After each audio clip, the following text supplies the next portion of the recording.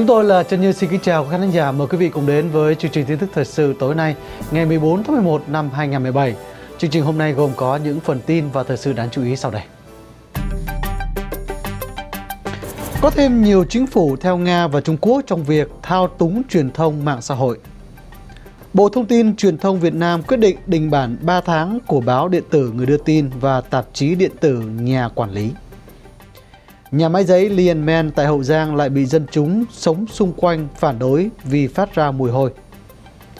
Trong phần thời sự, chúng tôi sẽ có bài về làn sóng trong dư luận về vai trò quản lý của nhà nước với nạn gian lận trong thương mại. Và ngoài những nội dung vừa nêu, chương trình còn có những thông tin đáng chú ý khác. Mời quý vị cùng theo dõi.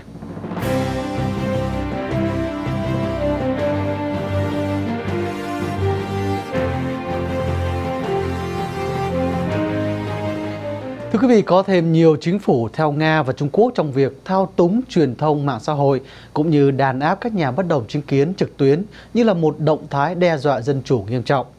Tổ chức nhân quyền Freedom House đưa ra nhận định như vừa nêu khi cho công bố bản phúc trình thường niên về tự do Internet năm 2017 vào ngày 14 tháng 11. Báo cáo nêu rõ các chiến thuật tung tin giả trực tuyến đóng một vai trò quan trọng trong các cuộc bầu cử ở ít nhất 18 quốc gia trong năm 2016, bao gồm cả Hoa Kỳ. Chủ tịch của Freedom House, Michael Abramowitz nói rằng, Nga và Trung Quốc là hai quốc gia tiên phong trong việc sử dụng các nhà bình luận được trả lương và các chương trình chính trị để tuyên truyền cho chính phủ. Nhưng giờ đây, cách thức này đã lan rộng ra toàn cầu. Ông Michael Abramowitz còn nhấn mạnh, sự lan rộng nhanh chóng như thế có thể gây ảnh hưởng đến dân chủ và các hoạt động dân sự. Giám đốc dự án tự do Internet Sandra Kelly giải thích hành động thao túng của các chính phủ thường khó phát hiện và khó khăn hơn nhiều để chống lại các hình thức kiểm duyệt khác, chẳng hạn như chặn trang web. Tổ chức nhân quyền Freedom House thực hiện báo cáo tự do Internet năm 2017 ở 65 quốc gia và phát hiện có 30 chính phủ sử dụng các hình thức thao túng, tạo sai lệch những thông tin trực tuyến. Các nhà bình luận được trả tiền để làm công việc này – và bản phúc trình năm nay đánh dấu 17 năm liên tục suy giảm chung về tự do Internet toàn cầu, được cho là hậu quả của việc chính phủ thao túng, cũng như có nhiều nỗ lực để lọc và chặn thông tin trực tuyến.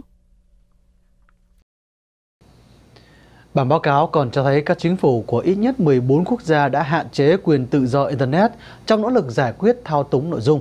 Ví dụ như Ukraine chặn các dịch vụ có xuất xứ từ Nga trong nỗ lực ngăn chặn tuyên truyền ủng hộ Nga. Theo báo cáo thì trong 10 chủ điểm được đưa ra, chính quyền Việt Nam kiểm duyệt 8 chủ điểm. Hà Nội xếp 76 trên thang điểm 100. Thưa quý vị, Bộ Thông tin Truyền thông Việt Nam vào ngày 14 tháng 11 ra quyết định đình bản 3 tháng chuyên trang phụ nữ và đời sống của báo điện tử Người đưa tin và tạp chí điện tử Nhà quản lý. Theo quyết định của Bộ Thông tin Truyền thông Việt Nam thì ngoài biện pháp đình chỉ 3 tháng báo điện tử Người đưa tin thì báo này còn phải nộp phạt 140 triệu đồng do vi phạm hành tránh trong một bài viết trên trang Phụ nữ và đời sống vào hôm 29 tháng 10 vừa qua. Tạp chí điện tử nhà quản lý bị kỷ luật với lý do nêu ra là đưa tin sai sự thật trong bài viết tự đề Bình Phước, báo chí đứng bên lề công cuộc đấu tranh chống tham nhũng, đăng trên báo này hôm 21 tháng 8 năm 2017. Tạp chí này thuộc Viện Nghiên cứu và Đào tạo về Quản lý. Quyết định của Bộ Thông tin Truyền thông nêu rõ, sau thời gian đình bản 3 tháng, Bộ này sẽ xem xét trên cơ sở các quy định của pháp luật về báo chí nhằm quyết định việc tiếp tục hoạt động cho hai tạp chí điện tử vừa bị kỷ luật. Đây không phải là lần đầu tiên các tờ báo trong nước bị phạt hành chính cũng như bị đình bản với cáo buộc đưa tin sai sự thật. Điển hình năm 2014, ba tờ báo Tiền Phong, báo điện tử Đất Việt và báo điện tử Kiến Thức, mỗi tờ bị xử phạt 60 triệu đồng. Năm 2015, hai ấn phẩm phụ của báo Đời Sống và Pháp Luật cũng bị tạm thời đình bản 3 tháng. Đến năm 2016, báo Thanh niên bị phạt 200 triệu vì vụ thông tin nước mắm nhiễm arsen. Gần đây nhất là vào tháng 7 năm 2017, ba tờ báo Thanh niên, Người lao động, Pháp luật Thành phố Hồ Chí Minh cũng bị phạt với các buộc đưa tin sai sự thật.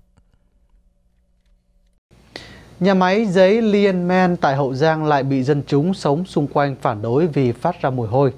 Báo Pháp luật Thành phố Hồ Chí Minh ngày 14 tháng 11 loan tin ghi nhận ý kiến của nhiều người dân nói rằng trong những ngày 10, 12 tháng 11, mùi hôi rất khó chịu cùng với tiếng ồn từ nhà máy làm cho họ rất khó chịu. Theo tin ghi nhận được, thì ông Chủ tịch Ủy ban Nhân dân thị trấn Mái Dầm, nơi nhà máy tọa lạc đã xác nhận là có mùi hôi phát ra từ nhà máy theo như người dân nói. Ông cũng đã báo cho nhà máy cũng như Sở Tài nguyên và Môi trường của tỉnh Hậu Giang. Tuy nhiên, Giám đốc Sở Tài nguyên và Môi trường nói rằng hiện chưa thể trả lời báo chí về vấn đề này vì đang bận. Nhà máy Lee Man là một dự án đầu tư 100% vốn của Trung Quốc. Nhà máy bắt đầu vận hành thử nghiệm vào tháng 12 năm 2016, tuy nhiên đã bị tạm dừng vì phát ra tiếng ồn bị dân chúng phản đối. Đến tháng 10 năm nay, 2017, Cục Môi trường của Bộ Tài nguyên và Môi trường cấp giấy chứng nhận cho rằng các công trình bảo vệ môi trường của nhà máy này đã hoàn tất và có thể chính thức hoạt động. Một số nhà khoa học lo ngại rằng nhà máy Lianman có thể làm ô nhiễm nặng nề sông Cửu Long, nguồn nước và phù sa sống còn của cả vùng đồng bằng sông Cửu Long. Cũng liên quan đến vấn đề môi trường thì Bộ Tài nguyên và Môi trường vừa trình chính phủ Việt Nam một dự thảo sửa đổi luật bảo vệ môi trường đã được chuẩn thuận vào năm 2014. Các lý do được đưa ra là nhiều điều trong luật này nằm ở các bộ luật khác nhau như luật tài nguyên, luật khoáng sản, luật quy hoạch nhưng lại không thống nhất với nhau. Một lý do nữa là nhiều điều luật được cho là không sát với thực tế. Và điều thứ ba là việc phân công các cấp thẩm quyền trong việc quản lý chất thải được cho là chồng chéo nhau, không phân rõ trách nhiệm. Việt Nam và Ấn Độ nhất trí đẩy mạnh quan hệ hợp tác song phương, đặc biệt là trong lĩnh vực quốc phòng và kinh tế thương mại. Đây là nội dung chính trong cuộc thảo luận giữa chính phủ uh, Việt Nam đó là ông Thủ tướng Việt Nam Nguyễn Xuân Phúc và Thủ tướng Ấn Độ Narendra Modi bên lề hội nghị cao cấp ASEAN lần thứ 31 diễn ra tại thủ đô Manila của Philippines. Về lĩnh vực quốc phòng, Ấn Độ hứa hẹn sẽ tăng cường chia sẻ công nghệ và cung cấp tín dụng quốc phòng cho Việt Nam. Về kinh tế thương mại, hai bên dự tính sẽ đạt mục tiêu kim ngạch 15 tỷ đô la vào năm 2020 bằng nhiều các biện pháp khác nhau, trong đó có việc tăng cường kết nối hàng không và hàng hải. Ấn Độ sẽ đầu tư nhiều hơn vào các lĩnh vực cơ sở hạ tầng, công nghệ thông tin, cơ khí chế tạo, xây dựng khu công nghiệp, nông nghiệp công nghệ cao của Việt Nam. Hai bên cũng sẽ tăng cường hợp tác trong các lĩnh vực khác như y tế, văn hóa, giao lưu nhân dân. Về năng lượng, Ấn Độ sẽ tiến hành thăm dò và khai thác dầu khí, xây dựng nhà máy nhiệt điện. Hai bên cũng đồng ý thực hiện một cách hiệu quả hiệp định khung về khai thác và sử dụng không gian vũ trụ vì mục đích hòa bình.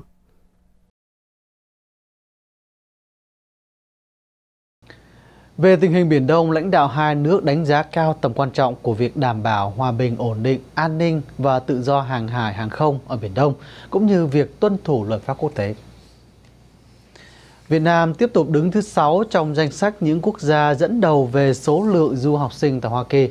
Số liệu được công bố trong báo cáo hàng năm Open Doors của Viện Giáo dục Quốc tế, gọi tắt là IIE, và được Đại sứ quán Hoa Kỳ ở Hà Nội loan tin trong bản thông cáo báo chí ngày 14 tháng 11. Theo báo cáo đưa ra, số du học sinh Việt Nam ở Hoa Kỳ trong năm học 2016-2017 tổng cộng hơn 22.400 sinh viên, tăng 5% so với năm học trước Sinh viên quốc tế hiện chiếm 5,3% tổng số sinh viên tại Hoa Kỳ. Trong tổng số du học sinh ở Hoa Kỳ, số lượng nhiều nhất là sinh viên bậc đại học 68%, sau đại học là 15,6%. Các ngành học được lựa chọn nhiều nhất trong năm 2016-2017 là kỹ thuật, kinh doanh và quản trị, toán và khoa học máy tính. Thông cáo báo chí này cũng nêu rõ cụ thể những tiểu bang tập trung du học sinh quốc tế là California, New York, Texas, Massachusetts, Illinois, Pennsylvania, Florida, Ohio, Michigan và Indiana. Ngược lại, cũng từ báo cáo hàng năm Open Doors của IIE cho biết, trong năm 2016-2017, Việt Nam đón hơn 1.000 sinh viên từ Hoa Kỳ. Để xem trực tiếp hoặc xem lại chương trình truyền hình của Ban Việt ngữ Đại Á Châu Tự Do trên điện thoại di động, quý khách thính giả hãy vào địa chỉ vietnamese.rfa.org. Vào đây, quý vị sẽ thấy chương trình truyền hình nằm ở ngay trang chính phía trên phần thời sự bấm vào nút play màu đỏ để xem trực tiếp cũng như để xem lại chương trình đã phát trước đó. Lưu ý để thuận tiện, quý khách thính giả hãy chọn Add to Home Screen để lưu giữ địa chỉ này trên màn hình điện thoại di động, giúp dễ dàng truy cập cho những lần sau. Ngoài ra, quý vị cũng có thể theo dõi chương trình trực tiếp ngay trên trang Facebook đại Á Châu Tự Do tại facebook.com gạch chéo RFA Việt Nam. Quý vị vẫn đang theo dõi chương trình truyền hình tin tức thời sự của Ban Bình Nghĩa Đài Á Châu Tự Do đang được phát trực tiếp qua mạng xã hội Facebook và YouTube. Mong quý vị chia sẻ chương trình và giới thiệu thêm nhiều người thân và bạn hữu biết đến chương trình của chúng tôi. Và trong phần thật sự hôm nay, thưa quý vị, vụ việc doanh nhân Hoàng Khải bị cho là lừa gạt khách hàng vì nhập khăn lụa Trung Quốc về gắn mát thương hiệu Khải Silk Made in Vietnam và bán với giá cao làm dấy lên làn sóng trong dư luận về vai trò quản lý nhà nước, biện pháp xử lý hậu quả vụ việc cũng như ảnh hưởng xấu mà môi trường kinh doanh của Việt Nam phải chịu bởi nạn gian lận trong thương mại như thế. Phóng viên Hòa Ái tìm hiểu và trình bày sau đây. Mời quý vị cùng theo dõi. Vụ việc doanh nhân Hoàng Khải trong hạ tuần tháng 10 bị tố đã bán những chiếc khăn lụa Khải siêu mà ông đã kỳ công tạo dựng thương hiệu suốt gần 3 thập niên qua, chính là khăn nhập từ Trung Quốc do cái mác Made in China còn sót lại trên khăn, khiến người tiêu dùng thắc mắc có phải ông Hoàng Khải, một doanh nhân thành đạt, đã lừa gạt khách hàng trong ngần ấy năm và còn bao nhiêu doanh nghiệp kinh doanh hàng Việt Nam chất lượng cao gian dối trong thương mại mà chưa bị phát hiện. Doanh nhân Hoàng Khải lên tiếng thừa nhận 50% khăn lụa thương hiệu Khải Siêu có xuất xứ từ Trung Quốc và sẵn sàng bồi hoàn lại cho những khách hàng đã mua sản phẩm khăn Made in China của công ty một cách nghiêm túc. Ông chủ của thương hiệu được cho là tiên phong trong nghề dệt lụa Việt Nam cũng thừa nhận tập đoàn đang đối mặt với khủng hoảng và sẽ rất khó khăn để lấy lại uy tín cho thương hiệu Khải Siêu. Đài Á trao đổi với một số doanh nghiệp kinh doanh hàng Việt Nam chất lượng cao và được cho biết vụ việc doanh nhân Hoàng Khải bị tố cáo làm ăn gian dối, lập lờ đánh lận con đen, làm ảnh hưởng đến công việc kinh doanh cũng như uy tín của các doanh nghiệp khác trên thị trường Việt Nam.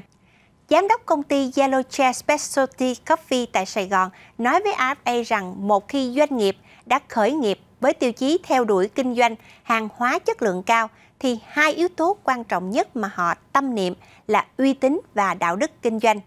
Nữ giám đốc của thương hiệu cà phê này khẳng định dĩ nhiên giới doanh nhân kinh doanh vì lợi nhuận, nhưng giá cả không phải là mục tiêu cuối cùng mà chính giá trị của thương hiệu mang lại cho khách hàng.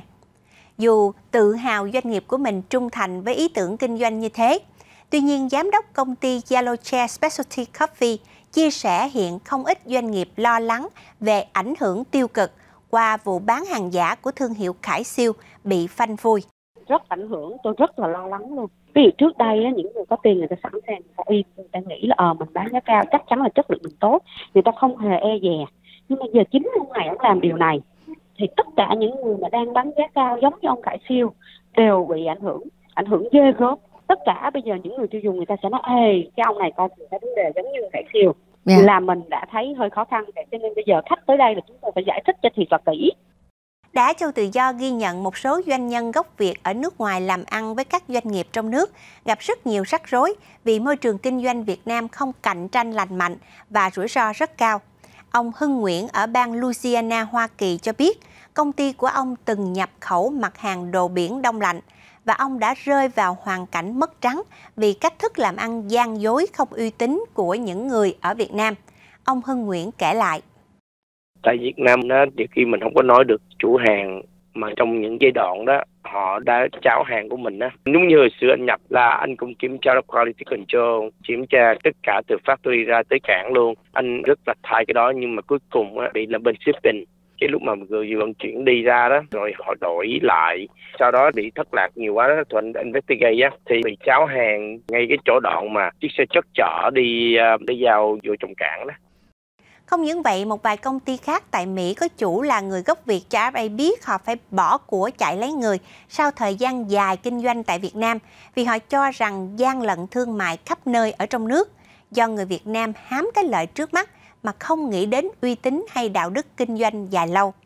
Ông Duy Lê, một chuyên gia về quản trị thừa nhận những phản ánh về cách thức làm ăn gian dối như vừa nêu là đúng sự thật.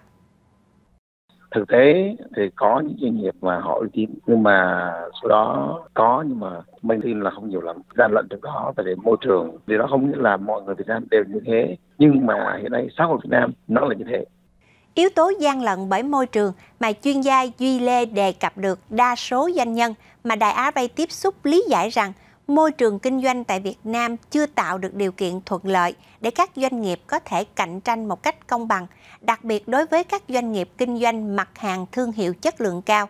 Vì chi phí để sản xuất ra thành phẩm đội giá rất nhiều nên không thể nào bán hàng chất lượng tốt với giá rẻ. Điển hình là một doanh nghiệp kinh doanh theo phương thức kết hợp với nông dân trồng sản phẩm rau sạch hữu cơ. Trong thời buổi thị trường đầy dẫy thực phẩm bẩn, chia sẻ với AFA gặp nhiều khó khăn vì thị phần đầu ra rất hạn chế nên khó cạnh tranh, dù tiêu chí hoạt động vừa giúp nông dân vừa mang lại sức khỏe cho cộng đồng. Do biện pháp kiểm duyệt khắc khe của chính phủ Hà Nội, việc truy cập trang web của Ban Việt ngữ Đài Á Châu Tự Do tại Việt Nam là rất khó. Tuy nhiên, đừng lo, tường lửa sẽ không còn là trở ngại. Hãy truy cập vào trang web của chúng tôi tại địa chỉ www.achauttự-do.info www.achauttự-do.info Và trước khi kết thúc chương trình tin tức thời sự hôm nay, chúng tôi xin điểm lại một số tin chính Việt Nam và quốc tế đã loan trong 24 giờ qua. Việt Nam, Trung Quốc sẽ tăng cường giao lưu bằng kênh đảng, triển khai kế hoạch hợp tác giữa hai đảng Cộng sản. Đó là một trong những nội dung quan trọng trong tuyên bố chung được đưa ra vào hôm 13 tháng 11 tại Hà Nội. Bản tuyên bố chung cũng nói tới việc tiếp xúc thường xuyên giữa hai bộ ngoại giao hai nước trong tình hình mới, nhưng không nói rõ tình hình mới là như thế nào. Ngoài ra, tuyên bố chung cũng khẳng định là Việt Nam kiên trì công nhận một nước Trung Quốc do Bắc Kinh đại diện và Đài Loan là một phần lãnh thổ của Trung Quốc. Ba thuyền viên tàu Giang Hải đã được Philippines bàn giao cho Việt Nam. Đây là những thuyền viên bị phiến quân Abu Sayyaf bắt giữ từ ngày 25 tháng 2 đến ngày 10 tháng 11. Sau đó, được Hải quân và cảnh sát Philippines giải cứu. Đại diện lực lượng cảnh sát chống bắt cóc đã chủ trì buổi lễ bàn giao các thuyền viên cho đại diện Bộ Ngoại giao Việt Nam tại Sở Chỉ huy Quân đội miền Tây Mindanao, Zamboanga, Philippines. Hiện tại các thuyền viên này đã được đưa về Manila. Đại sứ quán Việt Nam tại Philippines đang làm thủ tục để đưa họ về nước. Lãnh đạo các nước ASEAN và Trung Quốc dự kiến sẽ tuyên bố bắt đầu đàm phán COC với Trung Quốc. Theo tin Reuters, mặc dù tình hình tranh chấp Biển Đông đã trở nên yên tĩnh thời gian gần đây, nhưng các nước ASEAN sẽ không vì thế mà coi nhẹ vấn đề. Điều quan trọng là các bên hợp tác để duy trì hòa bình, ổn định, tự do hàng hải và hàng không ở Biển Đông theo luật quốc tế. Các nước chia sẻ quyền lợi chung trong việc tránh những tính toán sai lầm có thể dẫn đến leo thang căng thẳng. Đại diện đảng đối lập Campuchia đã lên tiếng đề nghị Hoa Kỳ trợ giúp khi đảng cầm quyền của Thủ tướng Hun Sen ngày càng tăng cường đàn áp nhắm vào phe đối lập. Bà Monovitia Kem đã thúc giục chính quyền của Tổng thống Mỹ Donald Trump cần hành động khẩn trương để cứu vãn nền dân chủ ở Campuchia. Cũng theo bà, khoảng 20 thành viên của đảng đối lập đã phải chạy trốn khỏi Campuchia kể từ khi ông Kem Sokha bị bắt giữ. Bản thân bà và em gái bà cũng phải chạy trốn vì sợ sẽ bị bắt nếu còn ở lại Campuchia. Hiệp hội Bảo tồn Thiên nhiên Thế giới cho biết, biến đổi khí hậu gây ra tác động xấu đến một trong bốn di sản thiên nhiên thế giới, gồm các bãi đá san hô, sông băng và những vùng đất ngập nước. Số nơi chịu tác hại bởi biến đổi khí hậu tăng gần gấp đôi so với cách đây 3 năm. Báo cáo còn cho biết, có 29% các địa điểm di sản thiên nhiên thế giới phải đối mặt với các mối đe dọa đáng kể và 7% bị ảnh hưởng nghiêm trọng, bao gồm vườn quốc gia Everglades ở Hoa Kỳ và hồ Turkana ở Kenya. Gần 200 quốc gia đang tụ họp ở Bonn để tham dự hội nghị từ ngày 6 đến ngày 17 tháng 11 để tìm kiếm cách thức nhằm cụ thể hóa thỏa ước về khí hậu đã được ký kết hồi 2 năm trước tại Paris. Cảm ơn quý vị đã theo dõi đến cuối chương trình tin tức thời sự tối nay ngày 14 tháng 11 năm 2017. Mong quý vị cùng trở lại với chúng tôi vào sáng mai lúc 8 giờ sáng giờ Việt Nam cũng trên YouTube và Facebook của Đài Á Châu Tự Do. Thay mặt toàn ban, chân Như xin cầu chúc quý vị một đêm an lành và một giấc ngủ thật ngon. Xin chào và hẹn gặp lại.